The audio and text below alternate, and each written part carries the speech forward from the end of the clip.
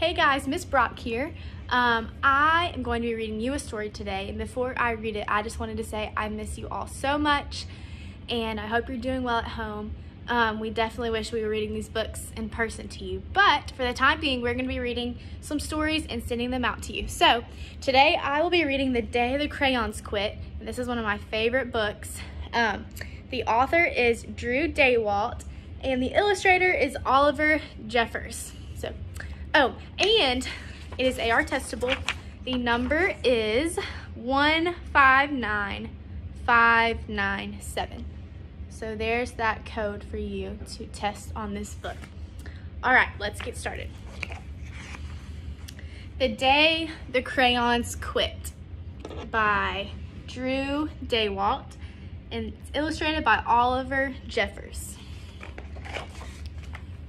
One day in class, Duncan went to take out his crayons and found a stack of letters with his name on them. To Duncan.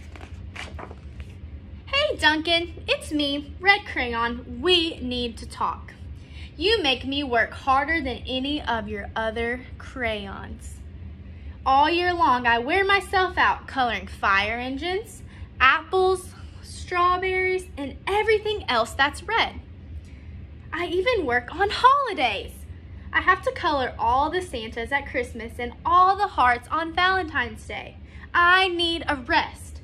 Your overworked friend, Red Crayon.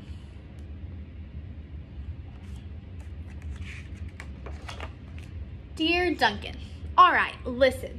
I love that I'm your favorite crayon for grapes, dragons, and wizard's hats, but it makes me crazy that so much of my gorgeous color goes outside the lines.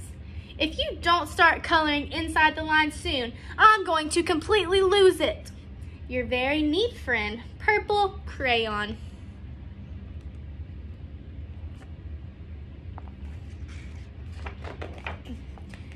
Dear Duncan, I'm tired of being called light brown or dark tan because I am neither. I am beige and I am proud. I am also tired of being second place to Mr. Brown Crayon.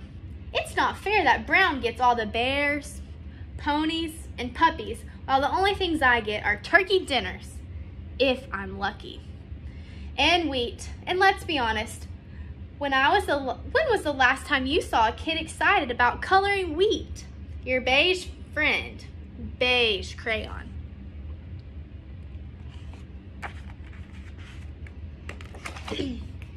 Duncan, gray crayon here. You're killing me. I know that you love elephants, and I know that elephants are gray. But that's a lot of space to color in all by myself. And don't even get me started on rhinos, hippos, and humpback whales. You know how tired I am after being after handling one of those things such big animals. Baby penguins are gray, you know. So are very tiny rocks. Pebbles. How about you give me one of those once in a while to give me a break? Your very tired friend, Gray Crayon.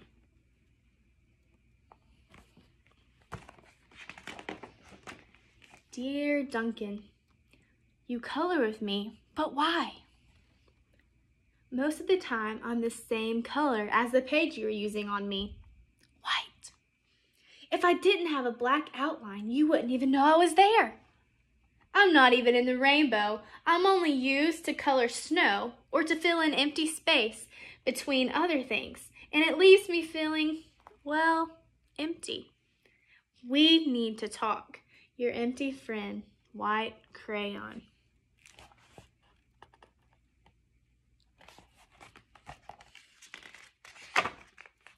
Hi, Duncan. I hate being used to draw the outline of things. Things that are colored in by the other colors, all of which think they're brighter than me. It's not fair when you use me to draw a nice beach ball and then fill in the colors of the ball with all the other crayons.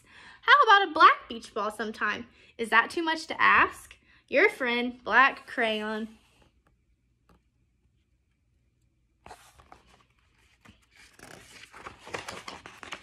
Dear Duncan, as green crayon, I am writing for two reasons. One is to say that I like my workloads of crocodiles, trees, dinosaurs, and frogs. I have no problems and wish to congratulate you on a very successful coloring things green career so far. The second reason I write is to is for my friends Yellow Crayon and Orange Crayon who are no longer speaking to each other. Both crayons feel they should be the color of the sun. Please settle this soon because they're driving the rest of us crazy. Your happy friend, Green Crayon.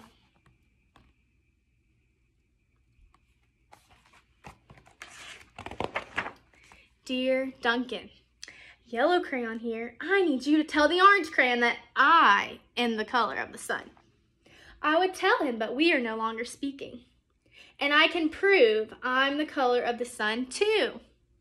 Last Tuesday, you used me to color in the sun on your Happy Farm coloring book. In case you've forgotten, it's on page seven. You can't miss me. I'm shining down brilliantly on a field of yellow corn. Your pal and the true color of the sun, yellow crayon.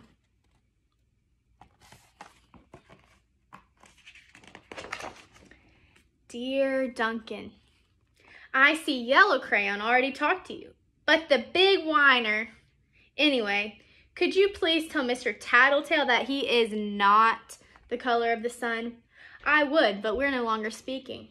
We both know I'm clearly the color of the sun because on Thursday you used me to color the sun on both the Monkey Island and the Meet the Zookeeper pages in your day at the zoo coloring book. Orange, you glad I'm here? Ha! Your pal and the real color of the sun, orange crayon.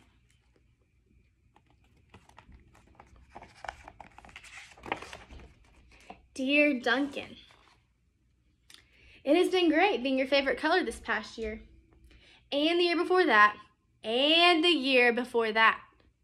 I have really enjoyed all those oceans, lakes, rivers, raindrops, rain clouds, and clear skies. But the bad news is that I'm so short and stubby, I can't even see over the railing of the crayon box anymore. I need a break. Your very stubby friend, Blue Crayon.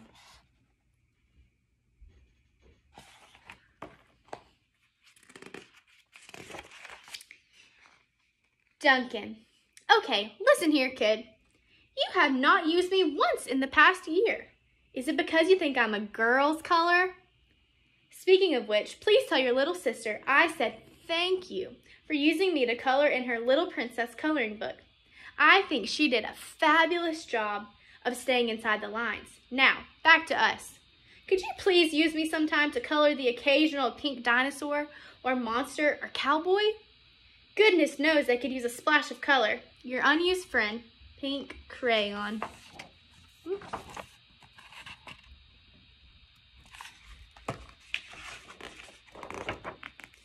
Dear Duncan, it's me, Peach Crayon. Why did you peel off my paper wrapping? Now I'm naked and embarrassed to leave the crayon box. I don't even have any underwear. How could you how would you like to go to school naked? I need some clothes. Help, your naked friend, Peach Crayon. That page is silly.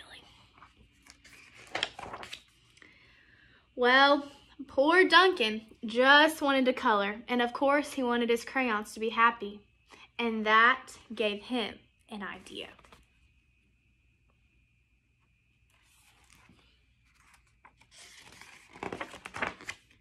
When Duncan showed his teacher his new picture, she get, gave him an A for coloring.